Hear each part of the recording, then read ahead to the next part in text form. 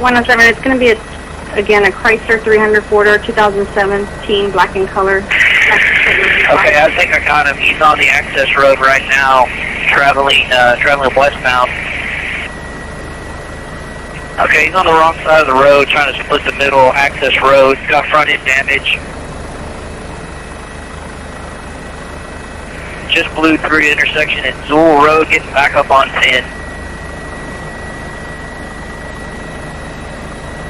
He's uh, back number two lane, uh, just really slow. Okay, he's got smoke coming out of the front left tire now. Uh, he's probably going to have to shut it down pretty quick. He's smoking on the road.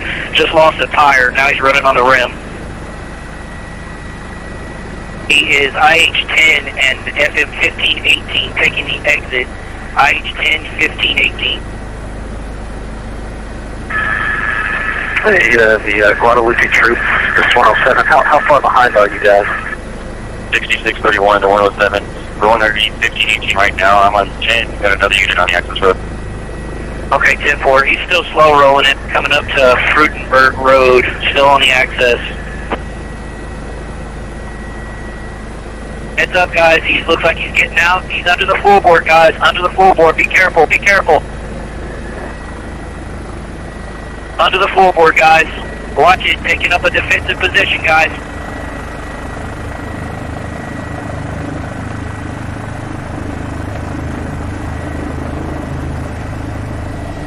Shots fired. Shots fired. Troop down. Troop down.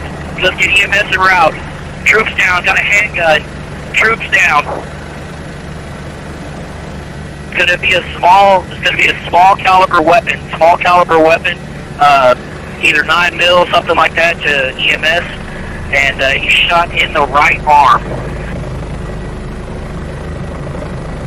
107. You got an ETA on EMS? 107, standby, we'll get an E ETA. Seven to the troops. I think we're going to try to land and medevac him ourselves. Copy that? 107, will you be taking them to SAMC so that we can uh, notify them? At University. Confirming you said university? University, San Antonio. And if you could find out what uh, frequency their helipad uses,